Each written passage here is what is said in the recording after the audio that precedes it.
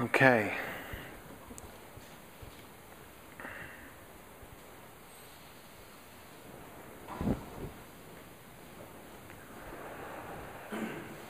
Where to begin?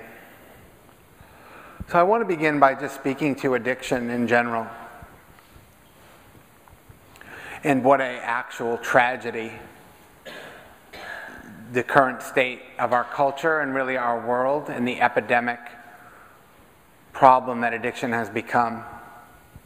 It's actually not getting any, it's actually getting much worse, I find. It's not getting better. For a variety of reasons, which I don't really want to get into. But we live in a very addicted time. And as far as strategies or solutions to overcome addiction, think we've really failed a lot of people. And that essentially what we've done historically is we punish and we convict and we put addicts in prison. Is the most common thing that occurs.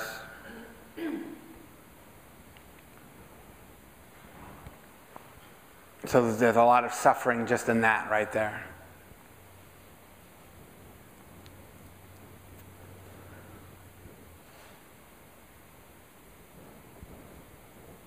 When I first met Noah, Noah Levine, my teacher, was actually at the first ever and only Buddhist Network Recovery Conference in LA. It was maybe in 2009.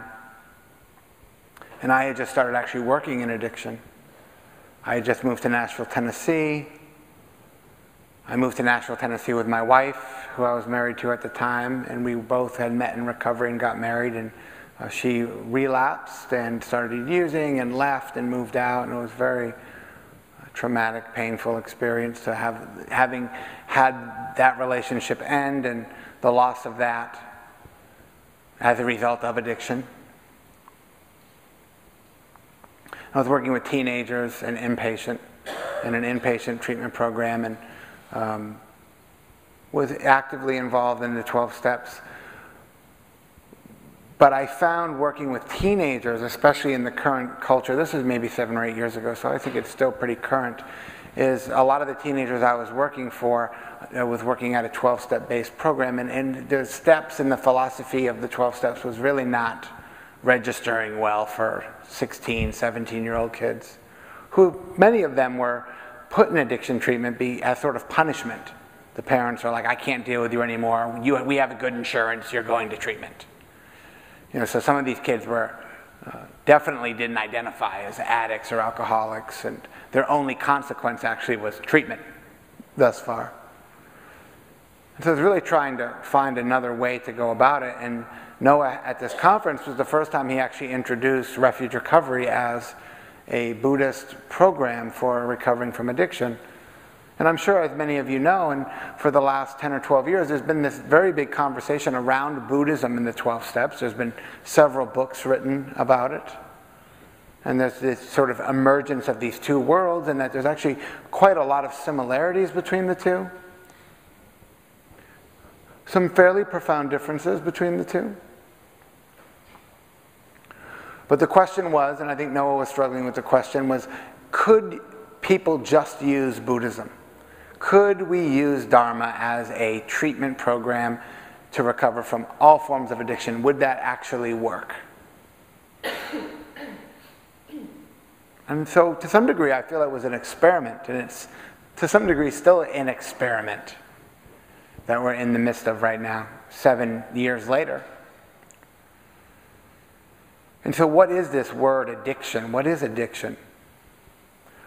We don't really know what it is. Of course, you could ask many different people and get many different. Some people say it's genetic, some people say it's trauma, some people say uh, it's environmental. We don't really actually, nobody really knows what it is. We know how it manifests, we know that it's a problem. To me, what seems to be the more important question is not so much what it is, but how does it operate? How does it work? So, not so much addiction as a noun, but addiction really as a verb, as a thing, as a process, as a, uh, sort of a hijack of one system.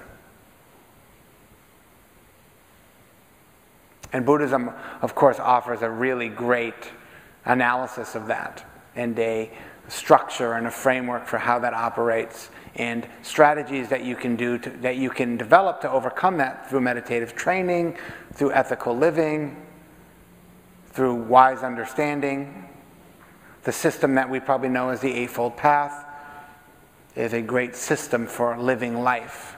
It's also a great system for overcoming addiction.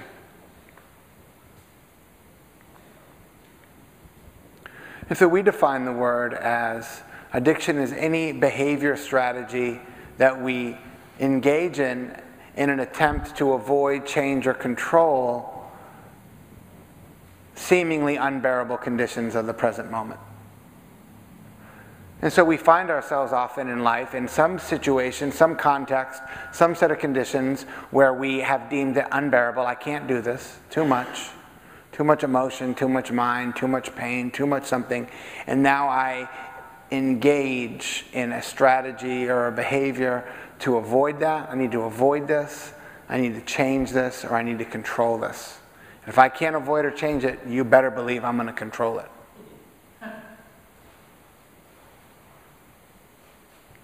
And that system or that habit the psychological and behavioral way that that plays out puts us in this very interesting game of what really feels to me like Russian roulette, where what we're doing is we're choosing immediate gratification or we're choosing temporary relief from the unbearable condition, knowing that there's going to be long term consequences.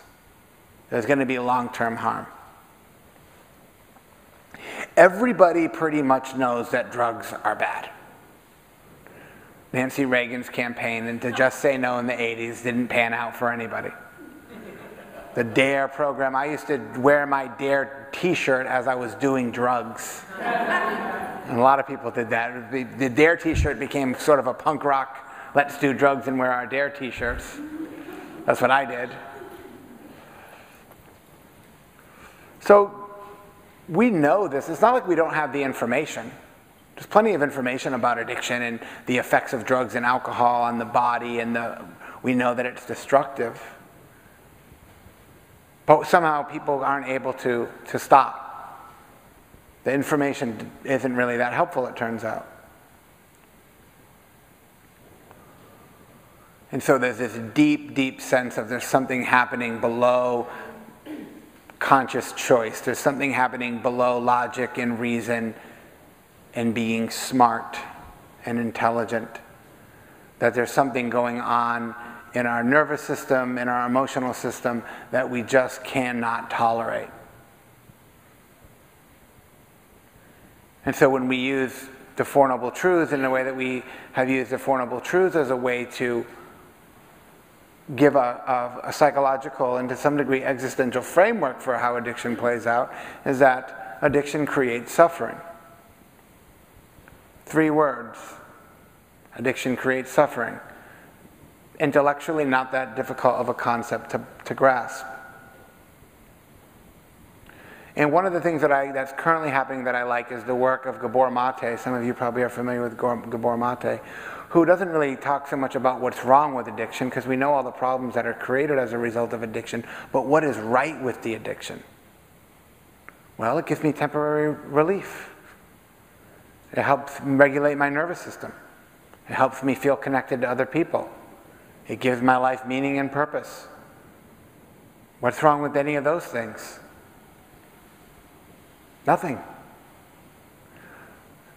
So, addiction is a strategy to avoid, change, or control the underlying pain of our lives that we can't deal with. We can't bear it, we can't tolerate it. Probably much of it has nothing to do with anything that we did. It's not your fault. Somebody installed that pain. And again, this is one of the huge problematic nature of addiction in the culture is it's this total stigma around shame and guilt and I'm a bad person and addiction and addicts are bad people who make bad choices, who should know better. And that feeds into this whole stigma around the, the shame that comes from it. And really, from a Buddhist perspective, addiction just makes a lot of sense to me. When I first started working with a trauma therapist and she did my assessment, she's like, You have like a 97% chance of being a drug addict when you're a teenager based on your childhood experience and all of the data. There's no reason to feel guilty or ashamed about any of that. And so we look at, we, we start to look at, well, what's the underlying pain? And, and, and maybe in the Buddhist context, we would call that dukkha. Some of you know this word dukkha that the Buddha spoke about, that there's dukkha in life. Suffering exists. You're all going to get a little bit on you. Some of us get more than our fair share. Some of us manage it better than others. But at some point, that pain was installed. Now we, of course, we have the obvious physical pain, the pain of the body. And ironically, when you look at the pain of the body, I've worked in addiction treatment for a long time, and I've noticed so many people get strung out on drugs and alcohol because they got hurt at work. You know, the guy fell off the ladder and hurt his back, and he got Oxycontin from the doctor. The doctor is the new dope man. You don't have to get, you don't have to go, you don't even have to score drugs on the street anymore. You just go to the doctor. It's a whole other set of issues. So the physical pain, the mental pain, and to some degree, when you think about mental pain, and that's kind of a strange word, right? Mental pain. But the pain of the mind, the pain of anxiety, the pain of worrying, the pain of just thinking too much about everything all the time. Just, I just, my mind, I just want to shut it down A six pack and a Valium will shut it down. the pain of the mind, too much thinking. And we've really also, culturally, again, we've declared a war on unpleasant emotions and mind states. The pharmacology business isn't the multi billion dollar business that it has become has arisen because if you're feeling sad or angry, disappointed, fearful, that there's something like wrong with you and you should take uh, some pills or you should. So we, we've, we've declared a war on emotional states that are unpleasant to some degree. So we, we've completely lost touch with our humanity on some level. And so we have emotional pain. And this is, I think, the third kind of pain. The emotional pain is probably the one that most of us really, really struggle with. And people with, with addiction really get s- trapped and stuck into trying to medicate that. So, really, to me, addiction is just self medication. I can't handle this, too much pain. I'm going to do something that will temporarily, temporarily relieve me from that pain probably to some degree knowing that it's going to be bad later, but I'll take the relief now. And then the fourth kind of pain that I think about, I think that's also very huge and is starting to come a little bit more into the spotlight is what I call relational pain. The pain that I've experienced as a result of other human beings. Right back to my primary caregivers, the pain of parents, the pain of my, my me, for me, my sister getting killed, relationships, intimate relationships. Anybody have ever experienced relational pain in association with another human being? You're not going to get, unless you're going to put on the brown robes, you're probably not going to get out of the world without some relational pain. And we have no strategy for this. We have no system. We have uh, no one taught me that in school. No one ever sat down with me in school and said, you know, from time to time, you're going to experience some anger and some fear and some sadness, and here's some strategies that you can develop to how to manage that.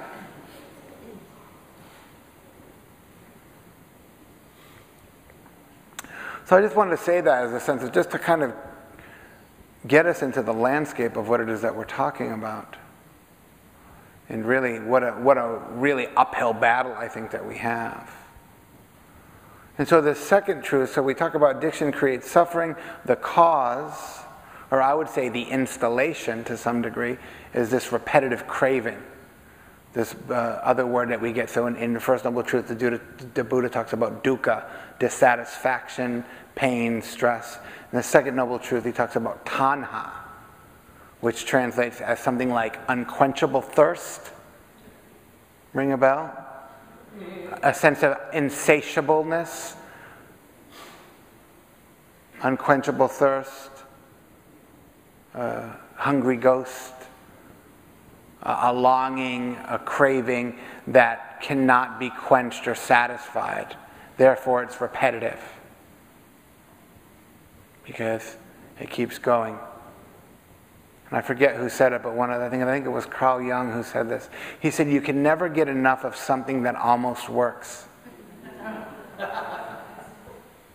and to me, that's really how addiction plays out. I can't get enough of it because it almost works, and it always almost works, and it's going to be different next time. If I could just get the right combination of Jack Daniels, Budweiser, and cocaine if I could just get the right chemistry, then I would be good. And all humans experience this, right? This isn't just addicts.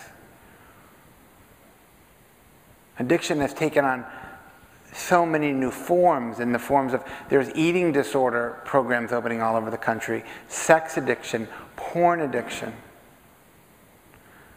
That, that, that our system is hardwired to avoid pain on such a level that we have different types of strategies that we all develop. Some of us use drugs, some of us use alcohol, some of us use gambling, some people use sex, some people use shopping. The modern world has got all kinds of really great delivery systems for addiction. It's a smorgasbord of addictive behaviors available to you all.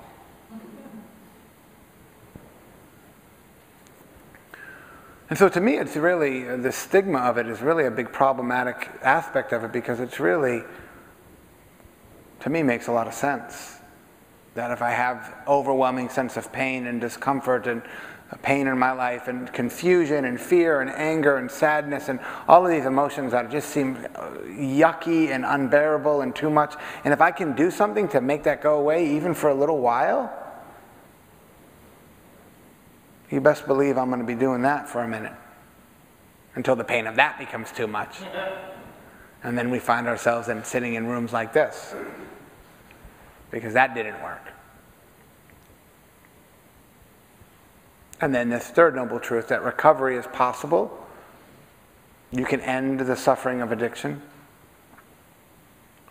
And you can end the suffering of addiction by engaging in the Eightfold Path so, really, if we look at it from a treatment planning perspective, from a clinical perspective, the Four Noble Truths is like the best treatment plan ever written. Here's the problem, here's the cause, here's the solution, here's the medicine. Boom. 2,600 year old tradition to overcome all types of addiction. And of course, the word that we use in Buddhism that causes suffering is craving, clinging, attachment. Addiction? Same thing? I think so.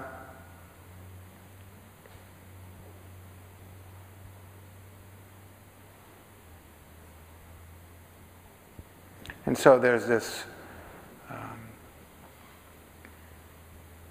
there's this potential we all have, and so we talk about taking refuge, and that's why we call refuge recovery refuge recovery, is because what we're trying to to do here is to come to terms with, to some degree, everything I just said, so that we have some sort of philosophical framework for what it is that has happened to us, what's my experience been.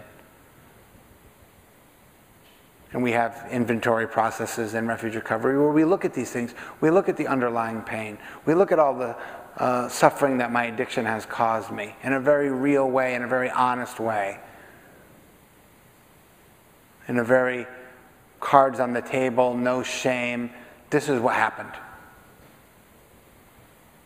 And this is such a huge part of mindfulness is the word inventory, which to me I don't register with so strongly, but to me it's an investigation. I investigate the causes and the conditions of my addiction like a CSI crime investigation, all the files out on the table.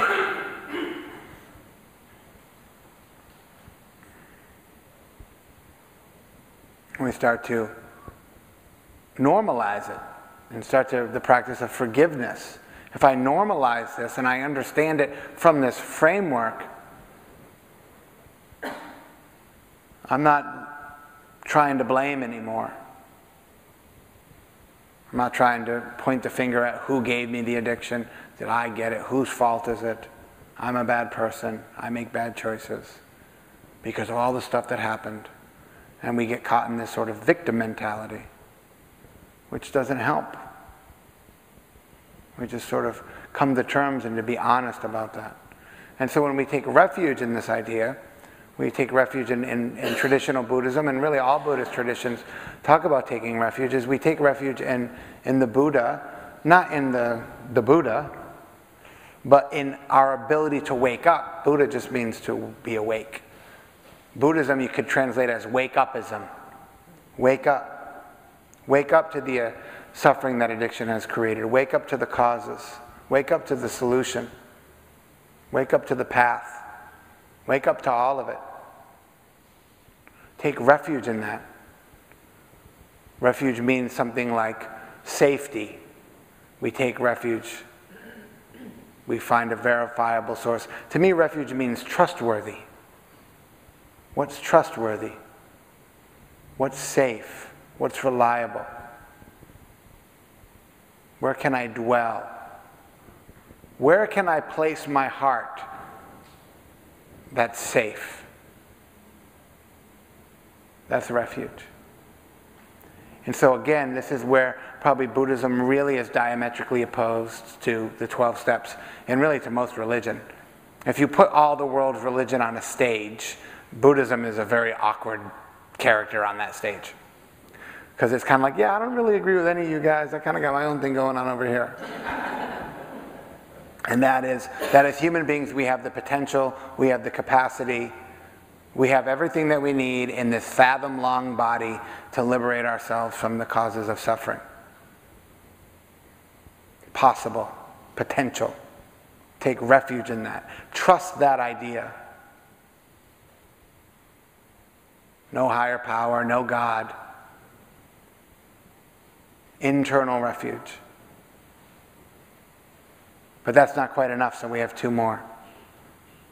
We take refuge in that idea, which is very empowering, I find. It's not I'm powerless, I'm empowered. It's my life and I'm going to change it. I'm willing to look at my pain now. I'm willing to look at my trauma. I'm willing to sit in the fire of the present moment, no matter how hard it is. I will not check out into my addiction. And so we have this Dharma. We take refuge in the Dharma, which oftentimes is just the teachings of the Buddha. But the Dharma is the truth of the way it is, the truth of what I've just said. And to check it out for yourself. All of these teachings and everything that I offer and everything that I've learned from Buddhism is said to be ehipassiko, which is a Pali term. That means come and see for yourself. Come check it out. Don't believe me. Come to a verifiable place where you know for yourself that it's true. And this Dharma, the way things are, the way things happen, we take refuge in these practices. And saying, actually, if I am going to wake up to the mind, if I'm going to wake up, I need to train myself in, in mindfulness. I need to train myself in wisdom and compassion. I need to train. I need to learn how to meet pain with compassion and forgiveness. I have to train myself how to do that because I don't know how to do that. I hate pain and confusion and fear and anger and sadness. I want to avoid, change, and control those things. If I could get rid of sadness, just drive me to the clinic right now. Let's get it done. Get it out of here. I hate it. Empathy. Cooperation. We have to learn how to cooperate with our emotional system.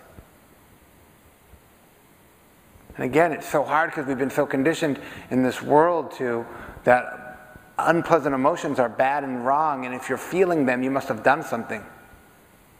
Maybe you're just a human being who has emotions. Does anybody not have anger, fear, and sadness? Does anybody not know what I mean when I say those words? No, you totally know what I mean. So we have to train ourselves to tolerate and to bear with and to, and to be able to inhabit those experiences so that the unbearable moment becomes a bearable moment. And that's what recovery is, is being able to inhabit the conditions of the present moment, whether they're painful or pleasant. Tolerate discomfort. I care about my pain. I care about my life. I care about how hard things have been for me train myself in compassion and forgiveness and stop blaming everybody. Stop blaming yourself. Blaming doesn't work. It's never worked for me, and I really, really gave that one a fair shake. I'll just pull out my blame thrower and let everybody have it to the point where I feel existentially betrayed by the universe. If you really want to get out in the skinny branches, I'll be honest with you. The whole universe has betrayed me. I blame everything. I don't believe in God, but I blame Him. And we see this. this. This is a huge psychological habit that we all have. So, how do we overcome blaming by practicing forgiveness. That turns out to be quite a useful skill. And usually, most of us will find that these don't come naturally to us. We have to train in these types of things. So we take refuge in that. We take refuge in the Dharma. We, we say that that's trustworthy. Is compassion trustworthy? Is blaming trustworthy? Is hatred trustworthy? Has it worked? Probably not so much. How do I overcome that? To train my heart and mind in these directions. So we take refuge in this Dharma and mindfulness and being aware, paying attention, waking up to what's true. And to me, really, this, this sense of dukkha or pain and the dissatisfaction, it's really hard for us, I think, because it puts us right in the center of our vulnerability, and we don't like that. We don't like that. You know, and again, the Buddha, in his cleverness, really normalized that. He says, well, the human mind, the human mind, consciousness, is highly vulnerable to the forces of greed, hatred, and delusion. You might want, not want to be vulnerable, but you are vulnerable. Like it or not. I hate it.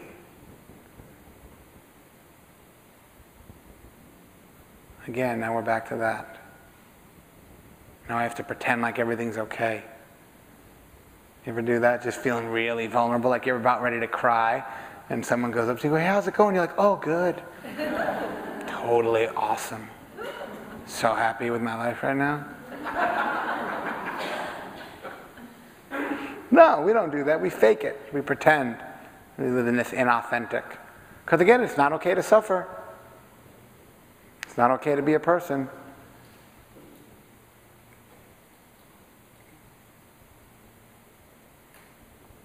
So, how do we take refuge in that?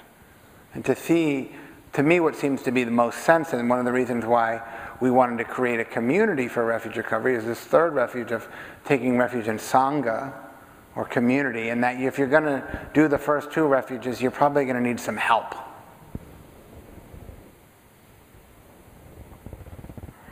You're probably going to need some people to help you do that. And there's a really interesting book, a, a, a, book that's really kind of clinically written, if you can get through that kind of language, called Addiction as Attachment Disorder which points to the John Bowlby stuff around attachment theory. But it basically says, it does an analysis and it says the reason why, I don't know if this is true, but I like what it, what it says, is that the reason why 12 steps have been so helpful to people is because of the community. It's not because of the steps. It's not because of the higher power. It's not because of the philosophy. Of course, that might help a little bit. But what the real reason why human beings excel and succeed in the 12 steps is because they can walk into a room of 40 strangers and be vulnerable how, about how they had such a hard time today, and everybody kind of rallies. That's why. And that's a beautiful thing. That's a rare commodity in this world. It's a very rare commodity in this world to be able to go into any building and be able to tell, tell on your suffering. Because that's really what this is about, is you have to be willing to tell on it. Because what does shame love? Shame loves secrecy, don't tell nobody. Keep your mouth shut, be silent, and judge. Shame will just thrive in that environment. But you go and tell on it, and it loses all its power. Because everybody goes, Yeah, I, me too. And it's like, Oh, you too? It's like, Yeah. It's like, Dude, we all did that. Let's get over it. It's like, Oh, I thought I was the only one who did that. No. The nature of empathy, just like me. Tell on that. And so we uh, felt it was very important to try to create communities, peer led communities, where people could start refuge recovery meetings anywhere. And, and we, we, have been so lucky, and I'm so grateful for the 12 steps because most of the people who have started good refuge recovery meetings are people who have been leading 12 step meetings for years, and they're just kind of good at leading meetings because they've been trained to lead meetings. Right? So it's so great that we've been able to um, incorporate these two. And uh, I'm also part of the work that I do is I'm the executive director for the Refuge Recovery nonprofit. So I get like a lot of emails from people all over the world and all over the country, which I'm mostly happy to get, but it's just a lot of work because I don't like to spend as much time on the computer as I actually do.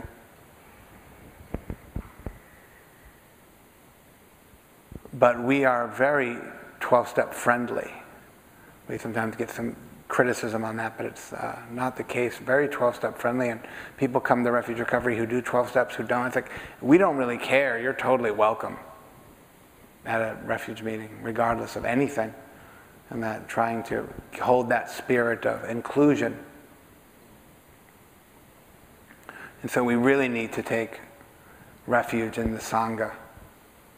And that this is really something, because addiction is so strong, and so rampant that people really need, need support.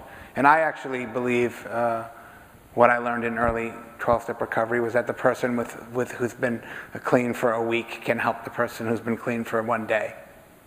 And that you don't need to be an empowered Buddhist teacher, and that you don't, you know, because there's not enough of us out there, and that we really felt like this could be a peer led thing. And you're so lucky here in Seattle, right, to have a Seattle Insight there's not a lot of insight meditation centers in the country. There's like really a handful of them. And I meet people all the time who are like in different parts of the country who are like, we don't have a place, we don't have a community, we don't, we don't have anywhere to go meditate, we don't have anywhere to, to learn meditation. And so I think sometimes we can take it for granted. I'll go next week. Right? That we have this, uh, this, you know, and I'm very happy to see this many people here. I didn't know it, with such a big interest in this type of stuff. So again, this is this idea of, of, of a refuge is where is a trustworthy way in which I can pay attention.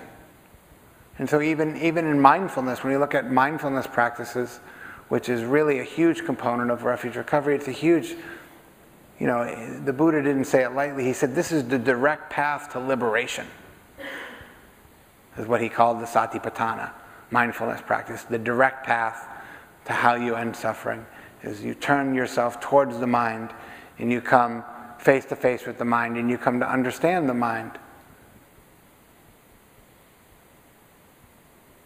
And so meditation is really a huge component of what we're trying to trying to establish and trying to train. So, to some degree, we could say, from a Buddhist psychology perspective, is to some degree, I'm taking refuge in something in every single moment. Because what do we need more than anything else as human beings is safety. And if I don't feel safe, I'll do some strange things. Most of my life, truth be told, I, I, I really safety has not been a very common ally. I felt very unsafe most of my life. Probably until very recently, in the last five years. I remember talking to a therapist one time, and she asked me something about, um, you know, when do you feel safe or how do you feel safe? And I was like, safety? I was like, what is this word you speak of? I'm like, I don't feel safe. I'm hyper vigilant. I'm looking around the room all the time. Is something bad going to happen? When's it going to happen? Is it going to happen now? Who's going to do it to me? It's just like highly traumatized psychological experience of hypervigilance. And so I took safety in substances. I took safety in drugs. I took safety in alcohol. I took safety in all of the behaviors that come with that. I got sober. I took refuge in relationships, sexual relationships, in workaholism. Took refuge in money. If I just get enough of money, I, I just got to get the right house in the right neighborhood, I'll take refuge in that. We're always taking refuge most of the time in some external experience. We seek safety and comfort in different aspects of what's happening out there. And when I just meet the right person, or when I just have the right job, and when I fish, just finish this degree, or when I get rid of this job, or I get rid of this relationship. I'm always taking refuge in ideas and concepts, and I'm taking refuge in a, in a place, in, in a destination that's other than what's happening right now. And I cut myself off from that. I cut off from the life that I have, and I live and I take refuge in the hope that my life could be some other way. And if only, then I would be happy, I would be safe, I would be okay.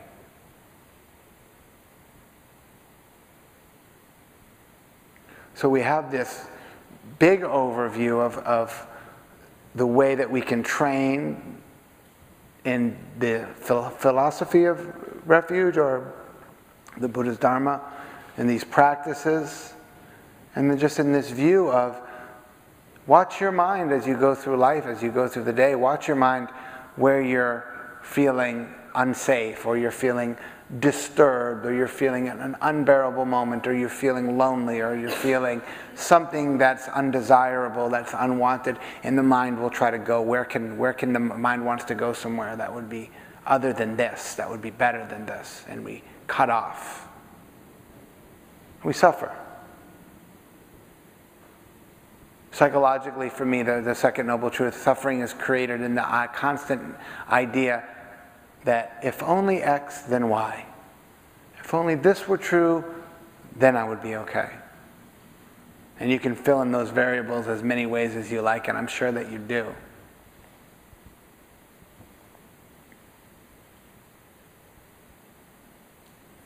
And so, really, to some degree, how do we come to terms with the issue at hand? How do we come to terms with the life that we're actually currently experiencing? because that's doable. You can do that. And the Buddha says so many times, he said, if it wasn't possible, if I didn't believe and didn't know that it was possible, I wouldn't ask you to do any of it. And so, this constant intention that we put on mindfulness and this, this very important aspect of trying to establish a daily practice for yourself to constantly be training the mind to go to refuge groups or come to Seattle Insight or participate in a meditative community, practice daily, even when you don't want to, which probably will be most of the time. And just training the mind over and over and over again. So that we're, we're learning. We, have to, we actually have to learn how to come back. We have to to be present is, is a, I have found it to be a skill that I've had to develop. And so to me, even Buddhism, Dharma, refuge, it's, it's a verb, it's something that we do, it's a behavior. Buddhism is a behavior, it's not a dogma. It's not something you either agree with or don't agree with. Of course, that's part of it, but it's something that you do and you experience and you go, oh, gee, that's pretty good. I think, that's, I think I should do more of that. It's an experiential type of thing. And the more we do it, the more we incline, we start to, we start to, to reap these little fruits. And we say, oh, forgiveness is more valuable and more helpful than blaming. Paying attention to what's happening right now is more valuable and more important than checking out into my hopes and fears and how much better things could be if only. And we just do that, practice that way.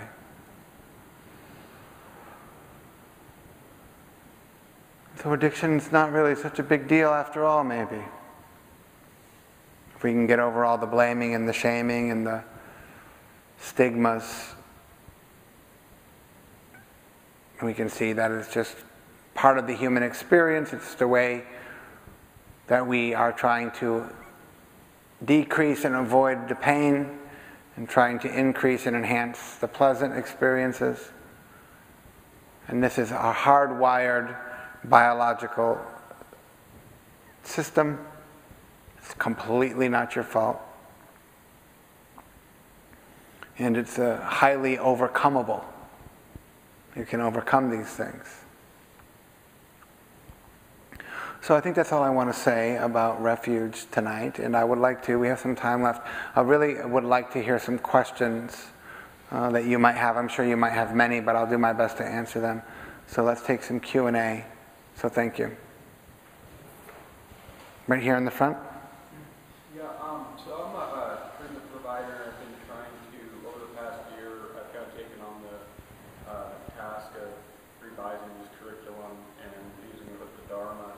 You had said um, in the beginning that when you guys kind of started out, had the question of whether uh, someone could recover solely working a Buddhist program. Um, how much of that have you seen? I mean, I know off the top of my head a handful of people in our program, and I have friends and colleagues who, you know, I think it's, um, I think actually, to be honest with you, every program works. It's just getting people to do it. CBT works, DBT works, 12 steps work. It all works. It's, you know, how do you get the person willing to stick with it long enough? But I find that, especially with the popularity, A, of mindfulness, um, and the practice-based aspects of that, that I, I, feel very confident. And, I, and we have a treatment center in Los Angeles that we just teach refuge recovery, and it really it works for people. But it's hard. It's not an easy. This is not easy. You know, but I think that what it offers and promises is worth the endeavor. Yeah. Yeah. Yes, please.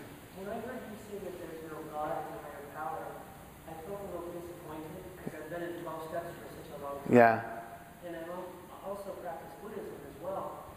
And, um, and it just was kind of provocative and intriguing to me. Could you talk a little bit about that? Yeah. Like, how do you do recovery with, higher power? Sure. God? And I even think of like, there's the higher power of mindfulness. Sure. Talks about the higher power of yeah. awareness. But is it, to me, it sounds like, is it an atheist or a non-theistic? I believe that Buddhism is an atheistic, and I think most people would probably make that claim. But then again, a little bit, we're talking about semantics. So, which is kind of a, you know, not a helpful strategy to sort of negotiate, because we're talking about words and concepts now, which are limited. Exactly.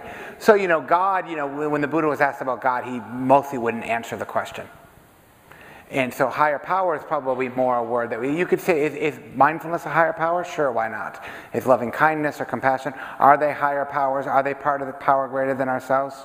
One could say yes, one could say no. I think it's just a matter of we have to wear the t shirt that fits the best for us. So trying to come to terms with that in your own way, um, to me, it's a little bit of a, of a moot point on some level because whether or not it, whether it works or not, what's more important. Whether you call it is sort of. So you know, I think that there's a lot of different ways people come to terms with that, and that's also been true in 12 steps. Is we have to come to terms with some of these things. But one thing that I've noticed, and the reason I say that is that the people that I've worked with who struggle a lot are people who actually really struggled with these concepts, and they come into refuge and like, oh my God, I don't have to worry about God or higher power. I can just start meditating. And so I've noticed that that's been an obstacle for a lot of people. But it's also not been an obstacle for some people. So it's just a matter of kind of ehipassika, right? Come and see for yourself. Yeah. Please. Yeah, it's been a huge obstacle for me, and I'm really excited about the Buddhist recovery movement and what you guys are doing. It's, it's amazing what's happening, this It's really exciting. Yeah, I agree. Thank you. And what's your name? Thank you, Ben. Ben? Yes? So, uh, it's more of a comment, I'm just kind of curious about your thoughts. So I've, I've done twelve-step recovery, and that's what I got clean in. Um, I've been doing refuge recovery, I was introduced to, um, a book on twelve steps in Buddha from somebody in my old twelve-step program. And One of the things, and I'm, I'm really happy that refuge is there, because there, there are, there are people that have that resistance to the higher power or whatever. But what I, what I've sort of observed in, in doing other types of therapy and process groups is that the work of recovery is the work of recovery, and that 12-step recovery is a methodology, and Buddhism provides a methodology, and DBT provides a methodology. But ultimately, the resistance, eh, you know, that I find, it's the same resistance. Like I go to 12-step recovery, oh, I don't like the higher power. It's like finding something to not like. Right. Because the resistance is to doing is to doing the work, and the work is introspection, investigation, inventory, cleaning up your side of the street, making some sort of amends. I mean, you know, and that's the thing that I just I I don't I don't. I, that's something that I've seen as I you know, and I haven't jumped from program to program because I don't I think they all work. I love that you comment on that. Mm-hmm. Well, yeah, I, I think you're right. And this is it. If you don't want to do it, you don't want to do it. You could call it. You can call it whatever you want to call it. It's like if you know, and that's that's the problematic nature of addiction is it's just that like not wanting. But again, when we use refuge, again, we're, we're, we're asking you to, a, don't take my word for it, and to investigate for yourself. And I find that it kind of, uh, Buddhism to some degree is disarming in that way. Uh, and that a lot of times the framework and the structure of it's so simplistic in the Four Truths that usually people um, are less suspicious. There's not so much uh, magic or elusive, uh, esoteric stuff. It's just kind of like, yeah, try meditation, try this. That it, it doesn't always happen, but I find that there's, there's a part of it that's disarming for a lot of people, where people need to let their guard down. And, and of course, people with addiction, they don't trust, they have trust issues, and they're very suspicious. And so, you know, uh, we have to be kind and friendly about the, the reality of that. Yeah. Yes, please.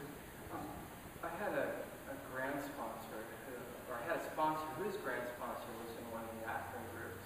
And in the beginning, when the steps were first being used, people were really dubious as to how do you work the third step? How do you do God's will? You know, how do you actually know God's will?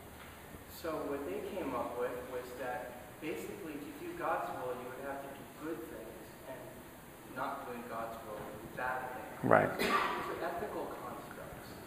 And that's the thing, that's what's so appealing about Buddhism, that Buddhism actually, being a person that who's pretty much raised in 12-step programs, that Buddhism teaches us how to practice the second, third, and 11th step. Sure. Which are not really, when you look at the book, when you look at the big book, they're not, we're not really given clear instructions. How do you let go? How do you do God's will? Sure. How do you meditate? No one teaches us this. That's right. But Buddhism teaches us. Yeah. They work together fairly well. Yeah, Buddhism is a pretty organized system, almost to a fault. You know, I think we were list worshippers, right? When you start studying Buddhism, it's like there's all these lists. But it's a pretty organized system, and of course, there is an ethical framework that's pretty clearly outlined in the five precepts and stuff. So it's it's giving us lots of, of, of guidance. It's really giving us what I feel is a pretty detailed map you know, that we can kind of follow and find our way along, whether you're on day one or it doesn't matter where you are. It's giving us something that's not so elusive. So I, I appreciate the comments. Yes. Hi, Amelia. Um, I've had a question that comes up a lot about karma in relationship, in relationship to addiction. Yeah. Because if I look at my life and I look at the traumas that came and I look at my experiences and I look at this guaranteed one-way ticket to this journey that I'm on because of this like natural course of events that took place with me that I don't judge. Um, and I wonder, I have a question about if there's a resistance to it somehow or if I'm trying to fix something that's part of my karma. I mean, I'm grateful for my addiction, I'm grateful for this journey. But I wonder if you have insights about who we are as addicts and how that might relate to karma, previous experiences. Yeah, karma is such a tricky word because it's, it, it's defined in so many different ways by so many different traditions. and also, you know, from what I know, the Buddha was very clear about like, if you try to figure out your karma, you're just going to go crazy. Because you, you can't decipher it. Because I might be like, well, look at all the stuff that happened in my life. I must be either a bad person or I did something bad. And it can get in a previous life and it can get really out there. Um, so the way that karma makes the most sense to me is, is, is usually the way that it's really translated, especially in the Theravada, is, is karma is intention. And so basically, what I want to do is look at my karma kind of from this moment moving forward and drop the trying to figure out how I got all the bad karma. But inclining the mind in awareness, inclining the mind in compassion, in forgiveness, and all these ethical and wise factors, I want to incline my mind forward. And so I basically want to try to transform my karma or create new karma in a way that I can, to some degree, track. And so getting caught up in the past and trying to figure out or come to terms with the karma that got you standing in, right here tonight, I think is, is, is, a, um, is a dangerous game. Understood, I just wish to add that I don't experience my karma as having a negative impact on my life. Yeah. I experience it as a gift because it's allowed me to have a willingness to wake up to things, and then I serve my, my world a little in my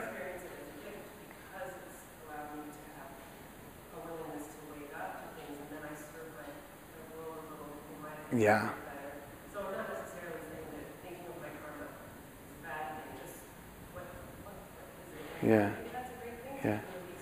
I think you're lucky that you hold that view, and I think, and I, and I, and I totally respect that. But I think that's that's not that, that's a rare. You're probably in a low percentile, where I think a lot of times the typic the, the tendency with with this trauma and addiction is that karma. We sometimes can use that as a sort of blaming, like you know. So, uh, and we all have different relationships to the concept of karma. I don't teach karma so much or talk about it a lot because it's so elusive of a concept, but more in the sense of uh, you're using your story in a way to incline yourself into a new life or to a new experience. So, to some degree, I would say you're probably doing a really great job of transforming your karma for the better because you're holding it in a view and an attention that is wholesome and moving forward. So, you know, but I think that you're probably in a in a lower percentile, and that more people, when they try to figure that stuff out, it can get really, um, it can become quite destructive sometimes. Yeah. Yes, please, right here.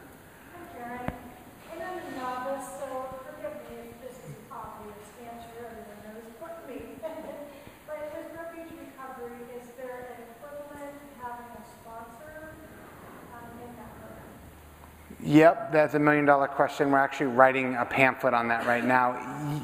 Yes, we would like to have mentors and these types of things, but because the program is so new, I probably could answer that question in like five years or 10 years, like with some degree of accuracy. I'm mostly curious. But, you know, again, I believe that the person, again, with, with the person who's got two months can help the person with one month. So I think that part of it is, is trying to create what we call Kalyana Mitta, like some friendship and, and that stuff where it's not going to necessarily be someone's going to take you through, but I think the culture of refuge recovery, if refuge recovery, I mean, the question is, will, re- will refuge recovery even be around in 10 years? I don't even know. I mean, I really am curious. Or will it just be another thing that doesn't, you know, who knows? But I think that that's something that the culture and the community will shape and define organically, karmically, if you will, uh, and that I don't actually know. But you know, I think that people can help each other in a way, but we don't have a clear outlined system for that yet. Uh, and it's a question that I get in my inbox uh, every day. Yeah. So I'm going to take one more question here in the back. My name is Cedar, and um, I was hoping you could speak to a practical approach to using a Buddhist philosophy to deal with cravings when you're at the bar or reaching for the cookie or um, when you're there in the moment. Um, Yeah. You know, that's a huge part of it. That's something that I really didn't give much voice to that's so important is this renunciation. You know, which to me, renunciation is, is giving up that which is extra or not needing anything extra, where it's to some degree dealing with the craving or the dissatisfaction or a lot of times when I'm reaching for the cookie or the drink, it's that there's something happening that, I, that I'm trying to avoid. And you know that's hard to negotiate that, but it's part of it is understanding very clearly the behaviors in which we know lead to long-term consequences. And in the moment, if we're aware of the fact that there's actually a choice, we just have to choose to not do that. And that's easier said than done in some scenarios, but that's really the renunciation that we're looking for, saying I'm no longer going to engage in this behavior. I know it's going to make me feel good for like a minute or however long it is, but I know in my experience, from my inventory, where this goes, and I'm, I'm actually not going to do this right now. And dealing with the, the, the, the challenge and the discomfort of, of having to negotiate that, but standing up for yourself and that really a fierce compassion of like, you know what, I just don't do this anymore. It's just over. You know, and sometimes we, we fail, and that's, that's sometimes part of the process too, is an opportunity to look back and to have some forgiveness and not to blame again, but to just really, when the awareness is there and we know we're about to do something that we actually don't want to do, we really have to follow through and not do that. So it's really kind of taking that stand out of compassion and, and care for yourself. Not out of a like, these are the rules, but, but like, I know where this goes. This isn't skillful for me to do this. So I'm going to hang around for a little while if you have any more questions, because I could talk to you guys all night, and I'd like to end on time. And I believe you might have some announcements for everybody. Yeah.